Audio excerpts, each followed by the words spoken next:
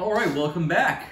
This is the follow-up video I did for my first review of the Xterra ERG 600 water rower. And this time I had a repair guy come in and he fixed the horrible squeaking sound that I was making. Uh, so let's just jump right in.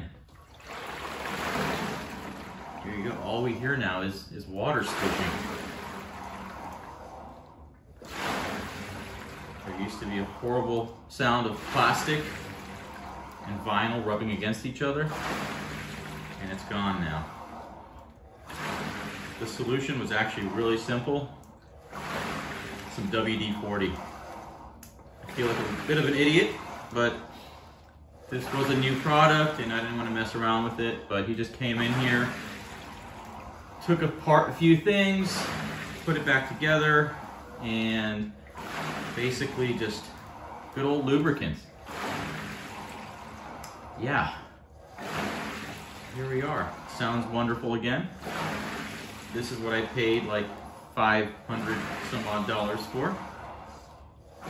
Still a hell of a lot cheaper than a Concept 2 rower, and I'm pretty satisfied with it. Now, let's talk about what actually broke as a result of fixing this. So there was one minor unintended consequence of repairing this thing, and I didn't catch it until after the technician left, and it was the fact that my strokes stopped incrementing up.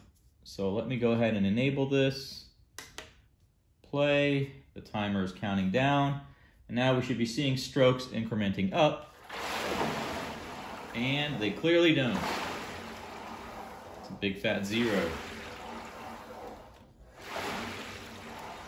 Yep, I can just do this all day, but that's not the point of this video.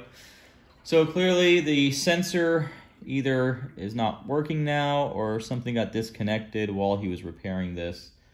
So I'm gonna have to go call them back and have them either replace the sensor or take apart this whole display and figure out what went wrong here. But that's pretty much it. And otherwise, I'm pretty happy with this rower still. Just uh, little minor annoyances. Otherwise, it's still worth the sub thousand dollars for a water rower. Well, that was quick. Thanks for watching my part two of the Xterra ERG 600W water rower review. That is a mouthful. Uh, hopefully the third time around, this thing starts working the way it was intended. And I got my fingers crossed. Anyways, till next time.